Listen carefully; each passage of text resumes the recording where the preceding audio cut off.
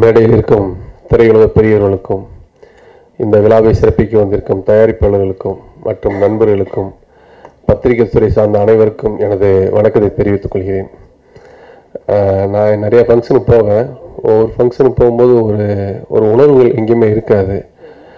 But இந்த function வரும்போது பார்த்தீங்கன்னா பல படங்களுக்கு பத்திரிகையாளராக பணியாற்றிய செல்வம் அப்படி வந்து நிற்கும்போது அவருக்குள்ள இல்லாமல் ஒரு பதட்டம். எப்பவுமே வந்து ஒரு ஃபங்க்ஷனுக்கு போது அந்த படத்தில் இருக்கக்கூடிய ப்ரொடியூசர்ஸு இதை போட்டு நம்ம அடுத்து என்ன பண்ண போகிறோம் அடுத்து நம்ம கே இது என்ன ஆகும்? இப்படி ஒரு பதட்டம் இப்படி இருக்கும்.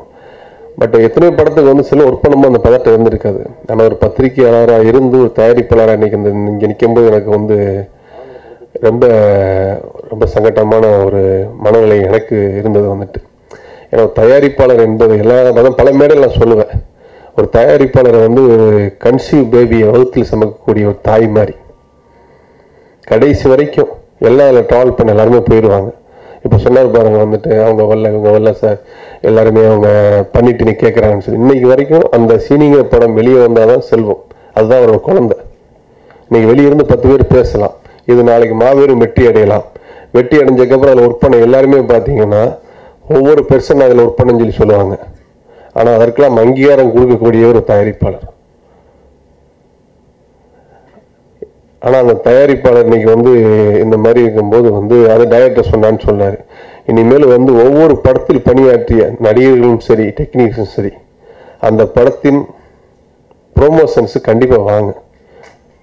ஏன்னா நீங்கள் பணம் கொடுத்து தான் அவங்க நடிக்க கொடுத்து இல்லை மாஸ்டர் அவங்களுக்கு பணம் கொடுத்து பண்ணுறது அவங்க பண்ணக்கூடிய ப்ராடக்ட்டுக்கு ஸோ அந்த ப்ராடக்ட்டுக்கு நீங்களே ப்ரொமோஷன்ஸுக்கு வரலைன்னா நாங்கள் எதுக்கு உங்களை வச்சு நாங்கள் படம் எடுக்கணும்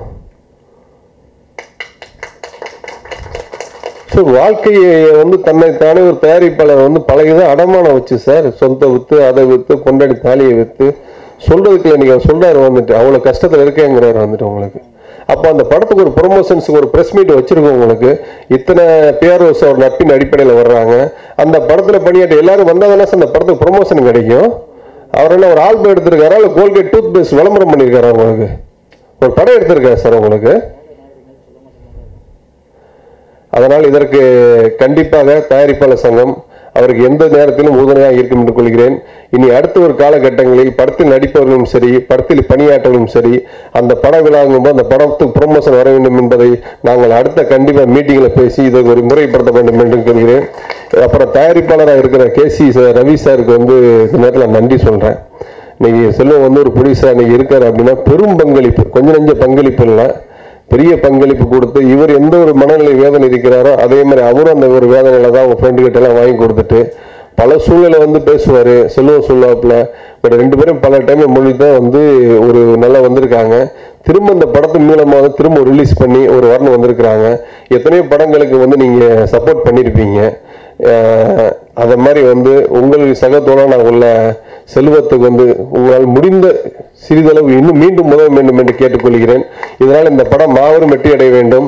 செல்வம் மீண்டும் இந்த தொழிலில் சிறப்பாக இருக்க வேண்டும் என்று எல்லா வல்ல இறைவனை வேண்டி விடுகிறேன் நன்றி வணக்கம்.